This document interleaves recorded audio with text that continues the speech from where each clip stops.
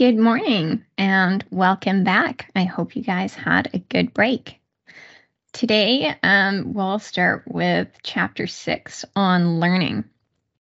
Let's take a look at the course schedule in the syllabus, which I have adapted as shown with those colored blocks.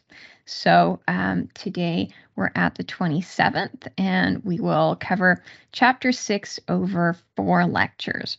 So I have um, 50 slides and I'll, I'll try to get to slide 18 today to cover classical conditioning. So I'm, going to play something for you. And now, those of you who watch these recordings won't be able to see the video because Microsoft, Microsoft Teams doesn't record um, a video within my lecture video, but I will put a little hovering card that you can click in order to watch it. But for those of you who are um, here live today, um, I'm going to ask you pay attention to what's going on in your body when uh, when I play this.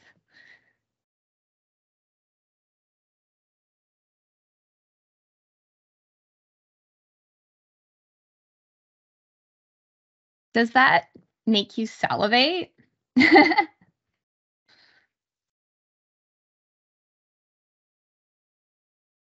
I get quite a strong conditioned response to that. So, but sometimes when I do these little in-class demonstrations, they don't work out. So I don't know if if that happened for any of you, but um, for some of you, perhaps the the sound of that beeping is conditioned to to food that you would have um, would have re- receive afterwards. I see a comment there. First of all, you should have stopped the microwave before the timer goes off. Oh, so maybe there's there's more that you get that would happen after this, like the sound sound of the door opening that you get conditioned to. Is that am I getting your point, Nelson?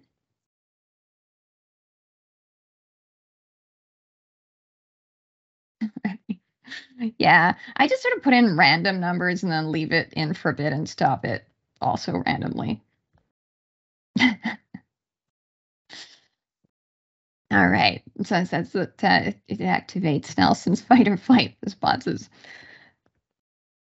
So if you had some reaction to that, that's an example of, of learning. And learning is the process of changing your knowledge or behavior because of your experience. So, this is distinct from instinct. Instincts are hardwired and unlearned. Um, you know, cats chase stuff because of instinct, not because they were taught to do so. But learning is about changing your knowledge or your behavior because of your experience. And it's connected to instinct. You know, we learn things that we're primed to learn, but um, it's more than than instinct. And this can happen a few different ways. So you can learn because something happened to you. You can learn because you listened in in lecture or read a book and you can learn because you saw someone else doing something. Now, we've defined um, learning as changing your behavior because of, of instinct. And that doesn't not require cognition. There are cognitive forms of learning, but the most basic form of learning, which is associative, does not require cognition. So learning can be studied at a purely behavioral level without invoking higher processes of, of cognition, of thought. And very, very simple creatures like sea slugs can learn right? So that learning can happen at a very low level without conscious awareness. So if you shoot a sea slug with a jet of water, it'll it'll contract, just like you'd startle if there was a sudden noise. And but if the sea slug keeps getting shot with that jet of water, it doesn't keep reacting the way it did the first time you know maybe the second time there's there's a big reaction but you know the third time the fourth time it's gonna sort of stop reacting. And if i continue to make a, a startling noise you'd react the first time and then if i did it three times five times you, you get used to it.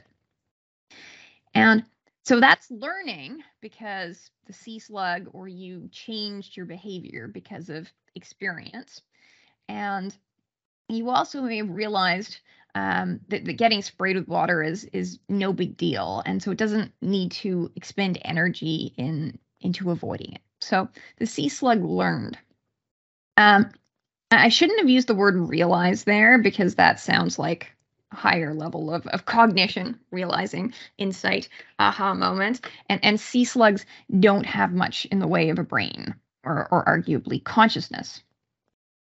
Now, when you're studying or listening in a class, you're learning in, in a really explicit way and, and you're conscious of your learning. But you, just like the sea slug, can also learn implicitly. So maybe you had some reaction to the microwave beeping there, um, or that example of habituation, and, and that you might um, not notice uh, a noisy fan in a room anymore. So there, some of the most basic principles of learning are habituation and sensitization. We were talking about habituation there, right? So the the sea slug that is not responding as intensely to a jet of water is habituating to it, right? If a, an initially startling noise is repeated, you're not startled anymore. That's habituation. There's another process that is called sensitization. And that's the the reverse. That's when you actually get a bigger response as, as something can be repeated. And we see these happen in, in different contexts. The adaptive value of habituation is that you stop responding to a stimulus in your environment that's not really important. So you can keep focusing on what is important. You stop, um, you know, burning calories, noticing that. But then, what if there's something in your environment that is sort of threatening or irritating? Then you get sensitized to it and start noticing it um, more and more. I experienced this with uh, whispering in in the lecture hall. Um, if I notice student whispering, and, and it upsets me a bit because it um, I record lectures and it makes it more difficult to to edit the video. And uh, and so it ticks me off a bit. And then i i notice it to the point that it, it sounds like it's like stabbing my ears. I see a, a comment there.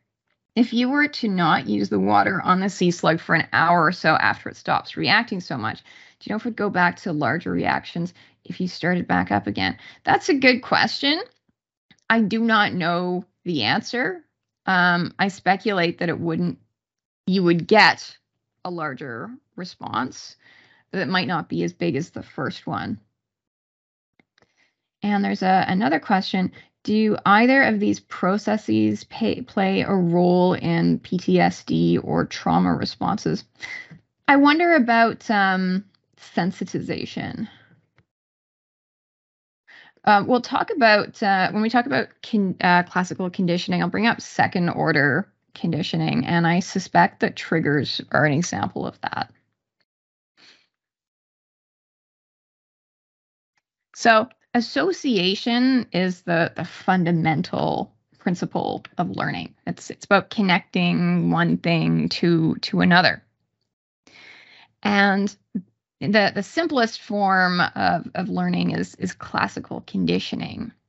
And what happens there is that animals come to respond to a previously neutral stimulus that's been paired with another stimulus that's associated with some kind of instinctive primal response as if it's um, where what we call the unconditioned stimulus.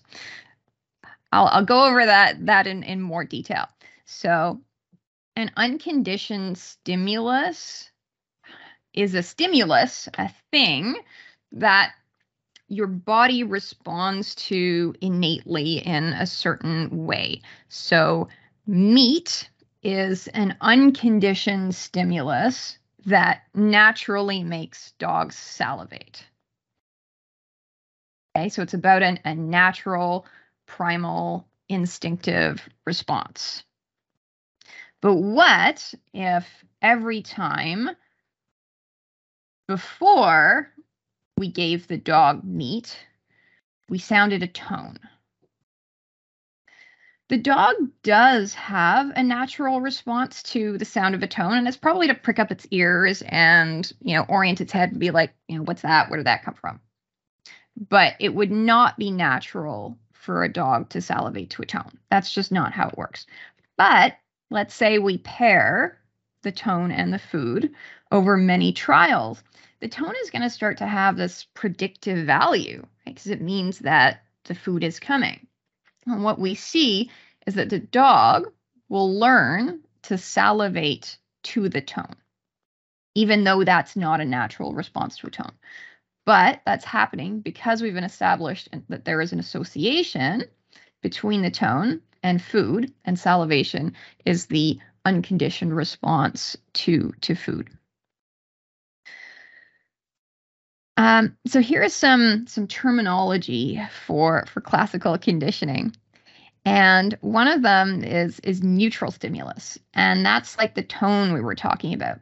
And I want to qualify that it is neutral from the perspective of the researcher who's studying and interested in a particular phenomenon. Uh, Pavlov was interested in indigestion. That's what he studied. And he's looking for the response of, of salivation.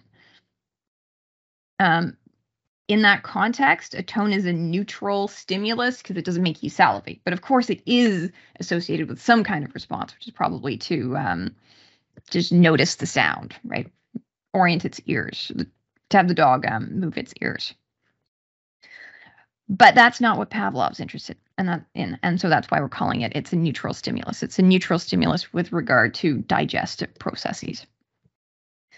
The unconditioned stimulus, the UCS, is the stimulus that elicits an unconditioned response. It's um, the stimulus naturally produces some kind of primal response. Okay, salivation is a natural response to to food. Okay, so food could be a UCS and salivation would be the unconditioned response. You can think of other ones. Um, let's say electric shock. That naturally elicits the startle response. So the unconditioned response to the unconditioned stimulus of an electric shock is a startle response. The conditioned stimulus is the one is what we've been been pairing. Okay, so if we pair a neutral stimulus with an unconditioned stimulus, then over time the animal will learn to respond to the neutral stimulus as as if it were the unconditioned stimulus. But we don't call it a neutral stimulus anymore because it's no longer neutral, right? The the dog is salivating to the tone. So now it becomes the conditioned stimulus. So after conditioning, the neutral stimulus becomes a conditioned stimulus. And it elicits a conditioned response. Salivation to a tone is a conditioned response, not a natural, unconditioned response. And I see a question there in the chat. They talked about this in the office when Jim played a prank with with mince on Dwight. Yes, um, I heard about that, and another student said that in in a previous intro psych class, and I hadn't seen it. And the person sent me the clip, and and it was quite funny. And I should find find it again and and share it with you guys. So the phase during which that the dog is learning that uh, the tone is paired with with food is called acquisition. Right? They're acquiring the conditioned response. But now, what would happen if we kept sounding the tone and stopped providing the food? Initially, the the dog would keep responding the way it's it's learned to. It would salivate. But over subsequent trials, it would learn that this isn't the stimulus isn't predictive anymore and it would stop salivating or, or it wouldn't it would lose that response that's called extinction extinction is not the same thing as unlearning something. The animal doesn't seem to forget the original pairing. And we know that because um, after some time, let's say you were to present the tone again, dog might salivate. So the response isn't gone, it didn't disappear. And this can particularly happen um, in new contexts. Okay, so that that's called spontaneous recovery. Okay, so you think you've extinguished the, this response and it pops up again. And this can particularly happen in, in new settings, right, that are different from the one that the stimulus, the, the, the, the association was extinguished in. So what that tells us is that we're not unlearning the original association. It's like we're learning a second thing, and it's that this doesn't really work anymore in this context. But hey, maybe it'll work in in another context. Maybe it'll work later, and so it, it springs up again. Stimulus generalization is when similar conditioned stimuli elicit the same conditioned response as the original conditioned stimulus. So an example of that is the famous Little Albert experiment, where uh, little Albert was taught to fear rats, like which are white fluffy things, and Albert also showed fear to um, other white fluffy things, to a Santa beard and to uh, the, the psychologist's hair. Okay, so because those are, are white fluffy things, they're similar to rats, and Albert responded to them in a similar way. And so the Pavlov's dogs, who were conditioned to salivate to a certain tone, also salivated to similar tones, but a little bit less than to the original tone. And the further and further away the tone got, the less and less they responded. And that is called stimulus discrimination. Okay, so stimulus discrimination um, is when we exhibit the conditioned response to, to certain stimuli and not to others. Now, some stimuli um, are resistant to conditioning. Pavlov was able to condition dogs to salivate to a tone. So the tone worked as a conditioned stimulus. But there are other things that he could have done that might not have worked as well, like maybe patting them on the head. Because if they get patted on the head a lot, that's not a stimulus that has good predictive validity, right? That happens so much in so many different contexts that it's not as useful um, for as as a signal. Okay, so a tone that they're not used to hearing, like I suppose he used a metronome or something like that, um, is a novel stimulus, and so it works really well as a signal with a particular meaning. So, what are things that that we see see a lot of that would probably be resistant to conditioning?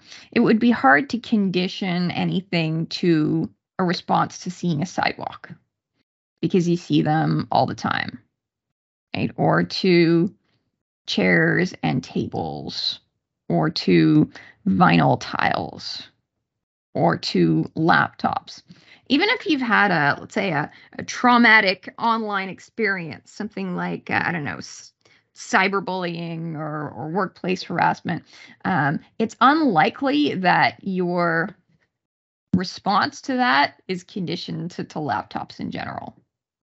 Maybe it would be to the company inbox outlook inbox with its logo which is a, a better predictor of, of trouble but it'd be unlikely to happen to something that we see a lot of in many different contexts, like you know computers or or phones.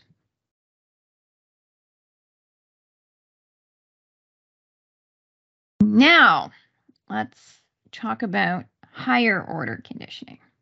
So we talked about how how conditioning turns a neutral stimulus into a conditioned stimulus by pairing it with um, an unconditioned stimulus.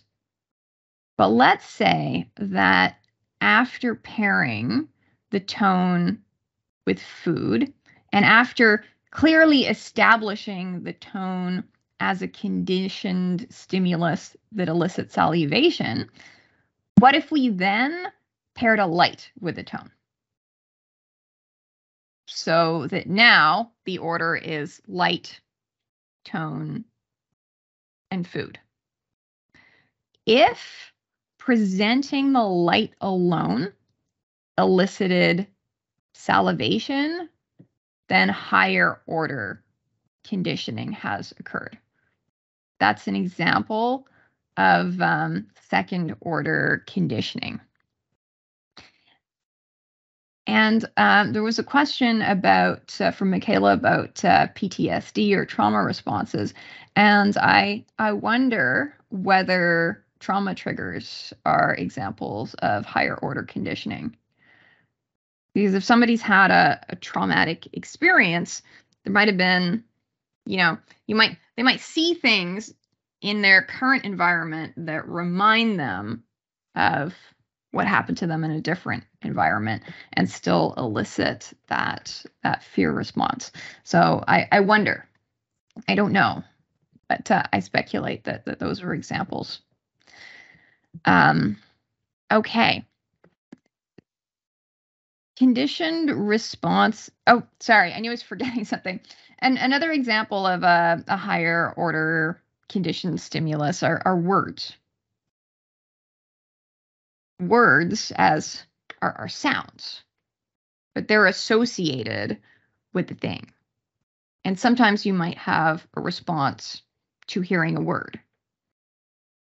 Right? If somebody says lemonade and that makes you feel thirsty, that's an example of second order conditioning because lemonade activate the word lemonade is a sound that activates the concept that's paired with the the actual physical thing um, conditioned responses become weaker the further and further they get from the original um, conditioned stimulus.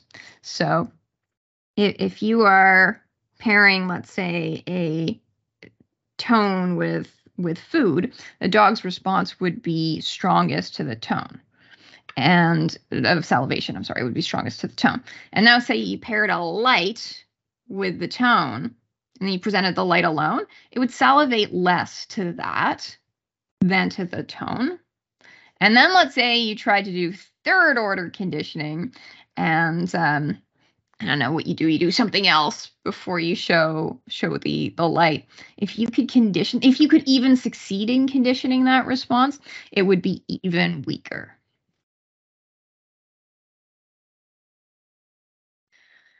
There are many, many applications of classical conditioning. Um, advertisers will try to pair their products with stimuli that elicit positive emotions in you. Makes me wonder whether they think that that horniness is a positive emotion because they use sex a lot. Um, the goal is to get the consumer to associate the brand with a particular feeling. And these images here of smiling people evoke a response in you. So you see these smiling, happy people, and maybe you feel warm and fuzzy, and now you're associating that with Coca Cola. So Coca Cola, um, Coca Cola's advertising strategy is to pair it with happiness and satisfaction. They used to actually put cocaine in it, but they don't do that anymore. So, classical conditioning helps us explain how we can acquire some fears and phobias. There's that um, famous little Albert experiment that you read about in your textbook, where the researchers were able to teach little Albert to fear rats and even other white fuzzy things by pairing the presentation of the rat, which she was not scared of at the beginning with a loud sound. They, they struck a bar that was behind his head. And after a few pairings like that, he cried as soon as he saw the rat. So uh, there is a strategy, a related strategy for helping people over get over their phobias that's called systematic desensitization therapy. And the the way that works is by um, teaching a client to associate the feared stimulus with relaxation. Relaxation is the opposite of, of anxiety. They're incompatible responses. And so how how might that happen? Let's say somebody is phobic of spiders. Right? How are you going to pair spiders with relaxation? Well, you might start by, let's say, in an early session, by um, relaxing the client, right? Maybe go through some steps to get, yeah, I don't know, deep breathing or whatever it might be. And then once they're in that relaxed state, you introduce the stimulus. You don't like drop a spider down their shirt. That that wouldn't work. But um, you might start trying to get them comfortable with hearing the word spider. Okay, and then that would that would evoke a, a fear response that would amp them up, and then then you relax them again, and get them to the point where they can hear the word spider and still feel relaxed. And then once that's established, you can uh, turn up the heat a little. And now, maybe once they're in that relaxed state again, you show them a picture of a very small spider, maybe a cute one. And uh, that would elicit their fear again. And then you would help the person relax and repeat that until the point that they can look at this picture of the cute spider and not feel upset. Once you've achieved that, turn up the heat again. And maybe you can um, condition them to feel relaxed when they see a picture of a meaner looking spider. And you can do this with folks till they get to the point where you know they're okay with say even touching a spider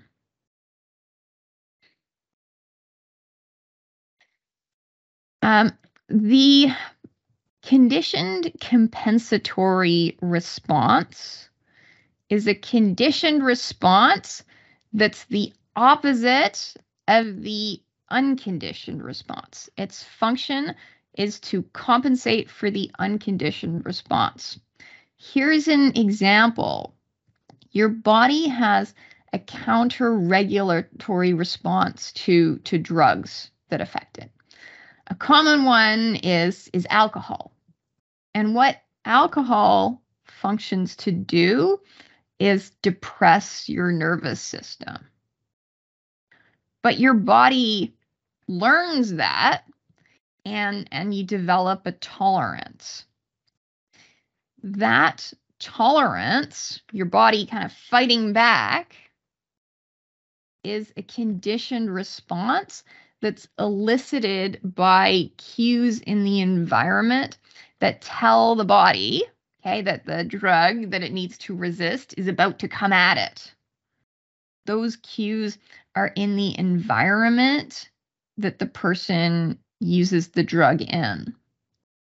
So, addicts who die of an overdose um, often didn't take a larger dose than than what they're used to, right? They know their way around dosing. What often happens is that they take the usual dose in a new environment. And the fact that they're in a new environment means that they're body's counter-regulatory response isn't getting triggered. And so the drug has its its full effect and their their tolerance doesn't kick in, right? And so the effect of the drug is much stronger than they expected. And conditioning is is one of the reasons that, you know, rehab doesn't always work because people can learn to be sober in this new and distinctive environment that looks a certain way and smells a certain way and has certain routines okay? Like okay they can do that but but what happens when they come back home? Right home to the say the apartment that has all the cues that they associate with using right? Like let's say that's the the cushy armchair that they sat in while using and that's the blanket they used okay? And so those are going to trigger responses in the body that you know they might experience as as cravings. So it's best if people who are coming out of, of rehab like will move into a new place. Another example of a condition compensatory response is uh, called anticipatory nausea and vomiting something that happens to people who are getting chemotherapy which can make people feel um, very ill and so the nausea becomes conditioned to to the environment. So people can have a, a reaction just to to seeing the the chemotherapy environment. But because of um, well biological priming, which we'll talk about later, um, they they also tend to condition that nausea to foods that they ate. Okay, like what was the last thing that that they ate before getting the chemotherapy? Because we have a biological predisposition to associate illness with food, and so a, a technique that um, that might use is is called eating a scapegoat food. Let's say there's a food that that um, the person doesn't particularly like or need to have in their life, like uh, grape flavored lollipops. Okay, every time um, you know, have a, a grape flavored lollipop half an hour before the chemotherapy, and then let that let the conditioning affect grape lollipops, which we don't really need or or want in our diet anyway. Okay? And that scapegoat food can save the other foods in their diet that they need to eat in order to stay as healthy as they can.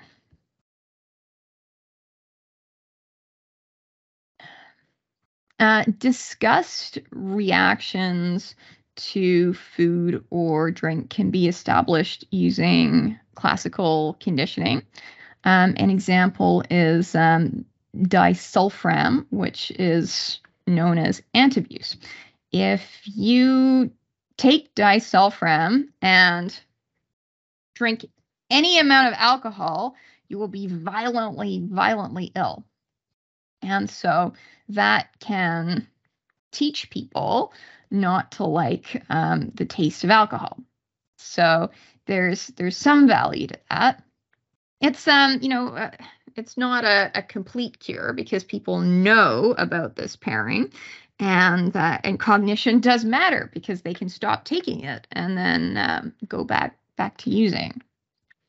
But some some folks find it helpful. Now your uh, textbook takes the position that um, fetishism seems to be due to classical conditioning, and and that kind of caught my interest. They, because they tell the story of a study where they were able to get male quails to mate with a terry cloth cylinder. So what they did is they paired the presentation of the receptive female quail with um, this terry cloth cylinder, and I can't tell whether they, um, you know, exactly how they did that.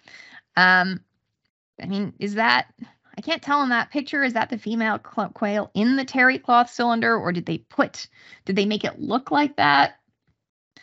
But what they are suggesting is that fetishes are a result of stimuli that are paired with with sexual experiences. And I I'm not completely convinced.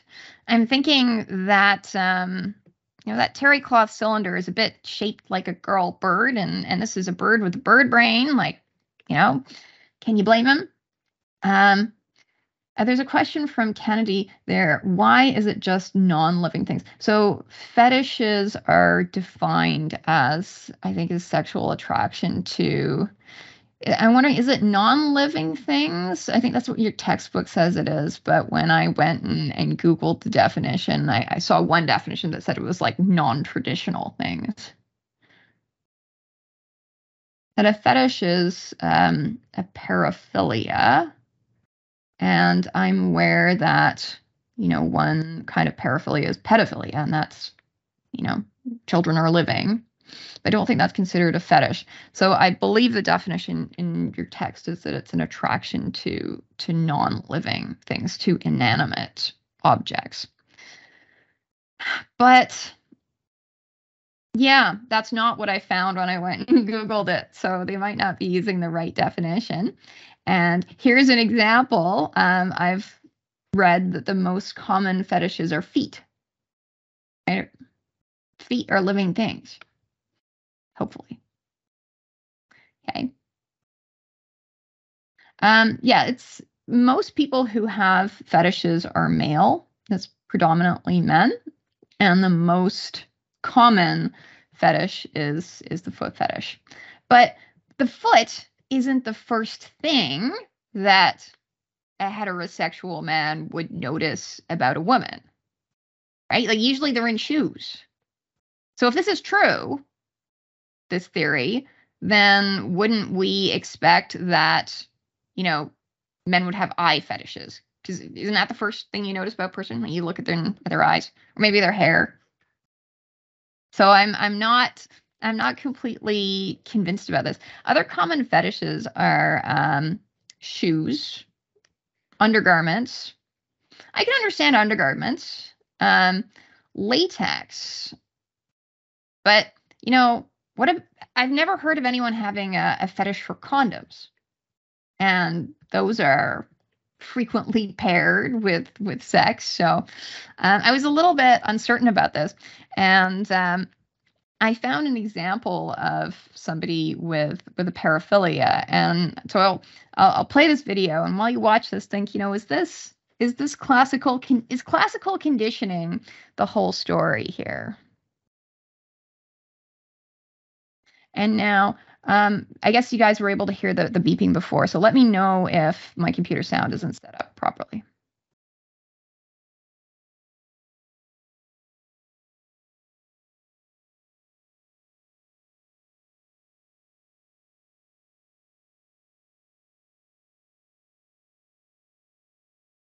So does classical conditioning explain that?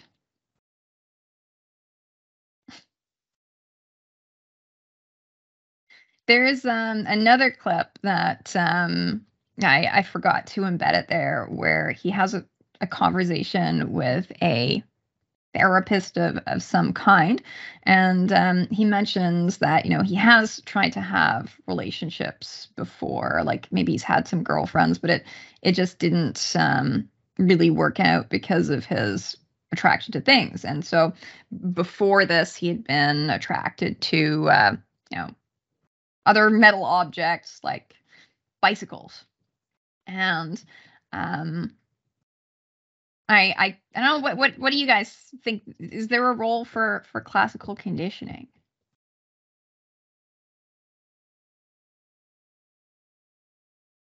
Do you think he ended up like that because of of classical conditioning? Maybe.